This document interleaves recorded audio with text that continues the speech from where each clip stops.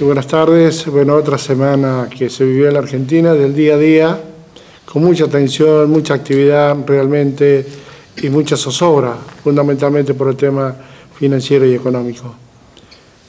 ¿Cómo le va? ¿Cómo está usted? Muy bien, muchas gracias. Bueno, ¿cómo vivió Tucumán? ¿Cómo lo vivió usted todo este tema de la parte económica? Y bueno, estamos en un momento muy complejo, la situación es muy difícil, además este, hemos tenido elecciones presidenciales donde el que ganó todavía es candidato, con lo cual este, el asunto no está definido y el presidente de la República todavía no ha sido derrotado porque no hubo una elección. Así que eso crea una transición que es compleja y, crea incertidumbre y se pone de manifiesto en la desconfianza.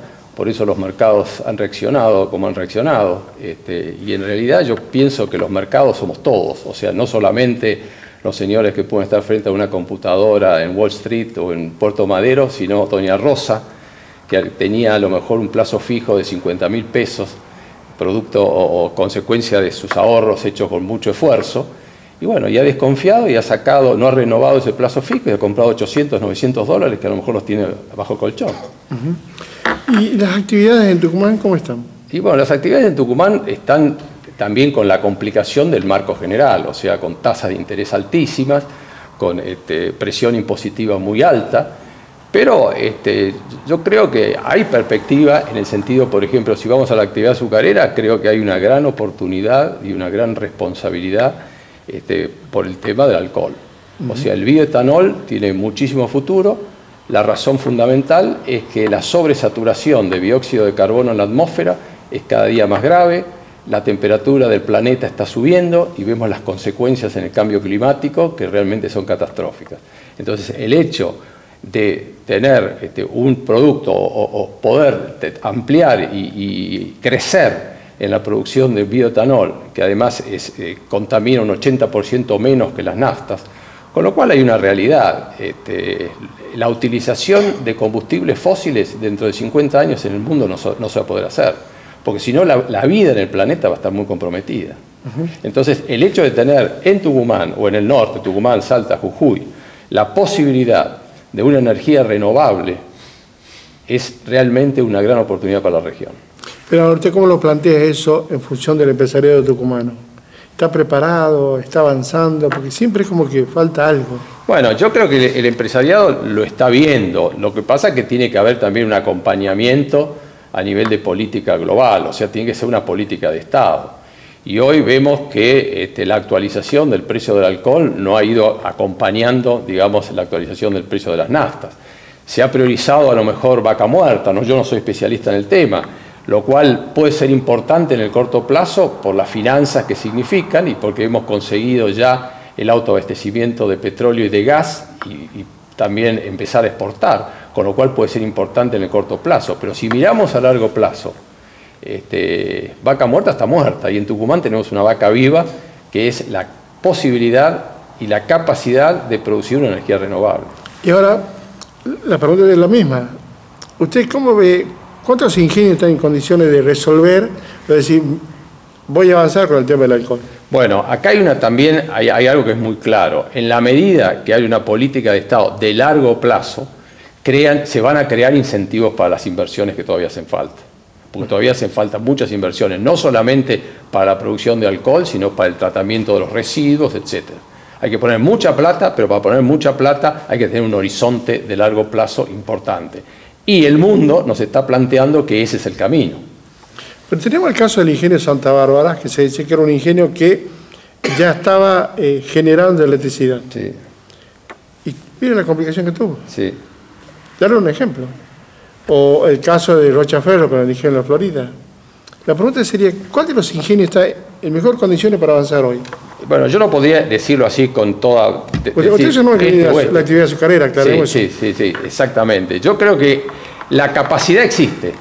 Lo que se necesita es un incentivo y se necesita este, financiación y financiación a largo plazo para poner en marcha todo ese potencial.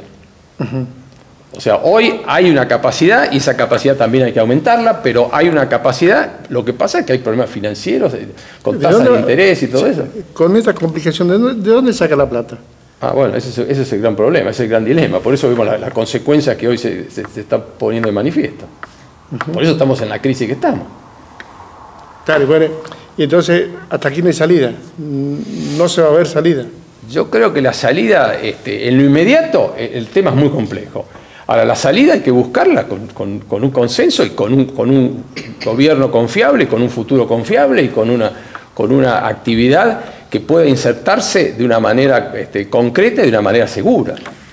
El presidente Macri cuando vino estuvo en, en la Trinidad Sí, hablando del tema. sí, Después se habló dos o tres veces más, sí. pero parece que no se avanzó. No, no se avanzó porque aparentemente la prioridad está en otro lado, está en vaca muerta, está en, en- en los combustibles fósiles todavía. y, yo creo sí. que ahí hay que insistir, no solamente el, el sector empresario, sino que tiene que insistir el gobierno provincial, los legisladores nacionales, etcétera, de que esto es una realidad y es una necesidad, porque imperiosamente el mundo nos está llevando a eso. Hoy claramente vemos que cada vez se están fabricando en China principalmente auto- automóviles eléctricos, trenes eléctricos y en el futuro vamos a tener calefones eléctricos, eh, cocinas eléctricas. El, el camino va por ese lado. La energía no va a venir de los combustibles fósiles, no va a venir del petróleo y del gas. La energía que se va a utilizar en el mundo en el futuro va a ser energía eléctrica, hidroeléctrica, energía solar y bioetanol, biocombustibles. Las otras actividades del grano, todos los otros negocios, ¿cómo están en Tucumán, a su juicio? Bueno, a mi juicio los negocios están razonablemente bien, pero dentro de un contexto de incertidumbre. No sabemos qué va a pasar. No sabemos si va a volver a haber retenciones. El otro día yo lo escuchaba este, a Felipe Solá que decía de que había que recrear la Junta Nacional de Granos para que compre todo el trigo y después redistribuirlo en los molinos harineros, los excedentes se exportan. Y bueno, este, eso crea alguna inquietud, porque entonces quiere decir que para financiar eso va a, haber- va a aumentar las retenciones de soja. Pero le doy al revés. Los exportadores, lo- lo- los- la gente que tiene plata, no ha liquidado sus divisas en la Argentina. Y mientras fue aumentando el dólar, siguen ganando. Y claro, no hay retenciones, no hay nada, tampoco hay la obligación de liquidar. Bueno, eh, retenciones hay, no, no, no, Bueno. se, se bajó el nivel de las Pero, retenciones. pero, pero ¿y cuánto ganaron entre la que, de, de retención y cuánto vienen ganando con la, con la actualización del dólar? Es mucha plata, hay mucha diferencia. Bueno, pero la actualización del dólar no, no, no, no, no es culpa de ellos. La actualización del dólar, ¿por qué se produce? Pero No, si, usted lo hubiera si usted lo hubiera liquidado hace seis meses, ganaba tanto. Pero dos meses después, y bueno, tiene otro, otro, otro nivel del precio. El peso argentino se fue devaluando. Sí, lo que sí. hubieran pagado de retención serían, son dos pesos ahora en comparación con lo que deberían haber pagado antes.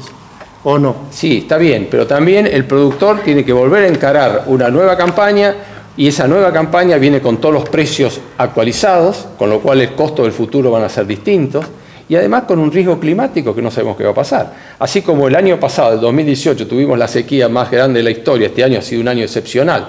Tenemos una siembra de trigo récord con 6.600.000 toneladas, pero, pero eh, eh, seguimos en la incertidumbre. El tema es, si nosotros pudiéramos establecer en la Argentina un consenso que permita visualizar a 20 años, o a 10 años, o a 30 años, como es el resto del mundo, que, que, que Ingeniero, otra cosa. no se puede eh, establecer una cosa una semana, Sí, sí, por eso. por eso- día a día, si esto es día a día. Por supuesto, ese es el problema que tenemos. Y además tenemos un problema estructural que complica todo el proceso productivo, o sea, todas las actividades productivas, que es que el Estado Nacional paga, el otro día estaba viendo la planilla de Roberto Kachanowski, 19.123.000 a 19.123.000 personas cobran todos los meses del Estado. Y hay 8.500.000 personas en el sector privado. Entonces, ahí, ahí hay una Pero distorsión. usted sabe muy bien que, hubo un que el sector social, para evitar lo que podría haber sido hoy las manifestaciones populares, si eran cinco, le han llevado ocho a los que le pagan subsidio. Aumentaron la cantidad de subsidios con este gobierno. Sí, sí, sí, sí, por supuesto. Eh, eh, y en eso también está todo este paquete. No es una complicación que venga de antes, es una complicación nueva. No, bueno, pero eh, eh, a, a lo largo de los últimos años, y no de los Sí, sí, últimos sí. cuatro, sino de, de muchos años, o yo diría de décadas, viene creciendo el sector público y cómo se está financiando. Se está financiando con los impuestos que tiene, con las retenciones y con el endeudamiento externo. Un país para que sea viable tiene que tener un Estado más chico. Por eso, sin ir muy lejos, vamos a los países de la región. Chile, Paraguay, Perú, Uruguay, tiene inflaciones del 6%, 8% anual. porque tiene un Estado mucho más chico, tiene una actividad privada en porcentaje o en proporción más importante. La única manera, si nosotros, un, solo, un solo razonamiento muy simple, si en vez de 19 millones, 5, 6 o 7 millones se trasladaran al sector privado, aumentaría la producción, aumentarían las exportaciones, aumentaría el PBI. Ahora, eso yo entiendo que no es fácil y, y también entiendo de que no hay que dejar desprotegido a los sectores este, más vulnerables. Eso también es una realidad. Pero hay que hacer el esfuerzo de empezar a cambiar esta estructura de país que en el fondo es inviable. Gracias, ingeniero. Muchas gracias, muchas gracias. Hacemos una pausa y ya volvemos.